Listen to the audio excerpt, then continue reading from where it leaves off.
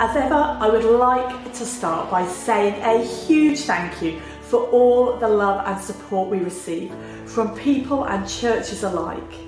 Support which upholds this ministry in prayer and enables us to reach out to children and young people. It's normally at half term that we send out the latest copy of our newsletter. However, it has not been possible, hence my short video update to you. Some of you may be aware that we've had a challenging start to the new year, with many of the team suffering from illness and at times for a longer period than we would have liked. It has also come as no surprise to us that this has happened as we have been focusing on our four weeks of prayer. We have had to make some tough decisions over the last six weeks as with limited manpower, we've not always been able to run all of our activities and have had to cancel some of our commitments, including those to churches.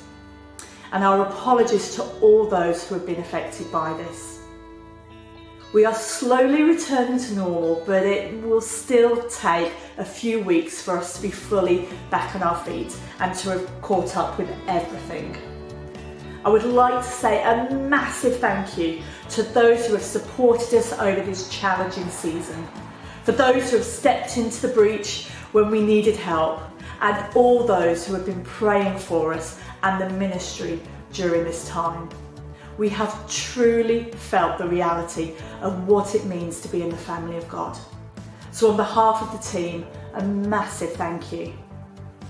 We will continue to share with you all that is happening and the developments that are taking place as we continue to follow God and the opportunities that He is bringing us. However, we would ask that you continue to pray as we still face a number of challenges. If you want to receive our weekly prayer updates, please email me at erica at wycombeyfc.org.uk. And finally, a great opportunity to come and pray with us in person and other supporters of the ministry is on Monday, the 28th of February, 10am at the Avenue Methodist Church on Rutland Avenue in High Wycombe. Everyone is welcome and we would love to see you there if you are able. So thank you once again for all your support. God bless.